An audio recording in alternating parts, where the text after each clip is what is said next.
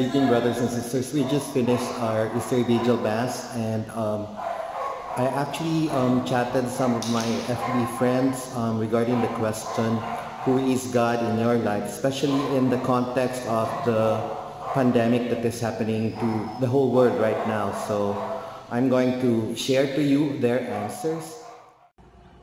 God is my comfort zone. He's like that close friend you can always reach out to whenever you need him. Whenever I feel anxious, tired, or lost, I just think about him and all that disappears. It's good to know that there's someone looking out for you. And it's good to know that he's looking out for you. Honestly, I don't know what the future holds for me or what tomorrow will bring, but just knowing that he's by my side brings comfort and gives me assurance. And I think everybody should remember that, especially in this pandemic we're in. During times of crisis, we just need to stay strong and keep our faith high.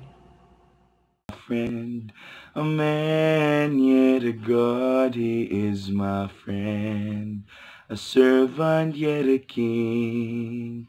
Ang akong ginoo kay siya mao ang akong protector, ang akong provider, ang akong wisdom, ang akong strength, ang akong savior.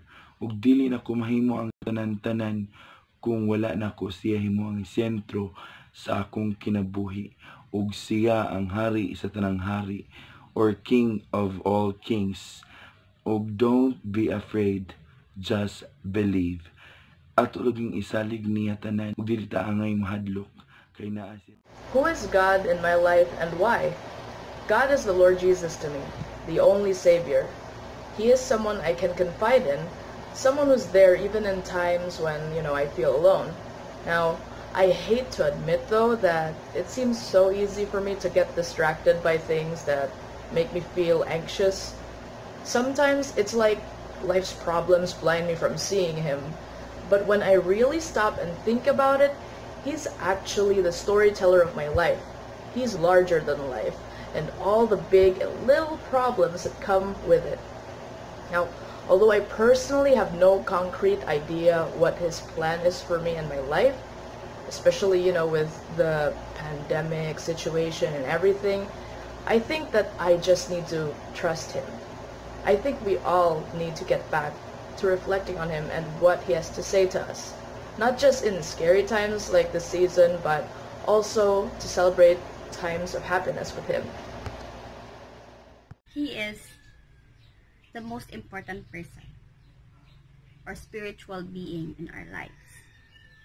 He is not showy, but He is there to help us, to guide us. We always ask a lot of things from God. It is up to you to listen, to hear what He says to us. Ang Diyos ang aking pader, siya ang aking muog. Sa kanyo ko lang itutuon ang aking paniniwala. Kahit anong pagsubok man ang dumating sa aking buhay, lalong-lalo na sa panahong ito, laganap na ang sakit sa buong mundo. Siya lamang ang aking lalapitan, siya lamang ang aking hingan ng tulong, sapagkat alam natin na ang Diyos ay mahabagin. Kaya purihin natin ang ating Panginoong Diyos. So thank you very much for watching. I hope you will um, keep watch of our upcoming videos. I'm not really a blogger, but at this point in time, I think I have to share something. Uh, so I hope you enjoyed viewing this. Please subscribe to our um, channel and God bless us all. Thank you.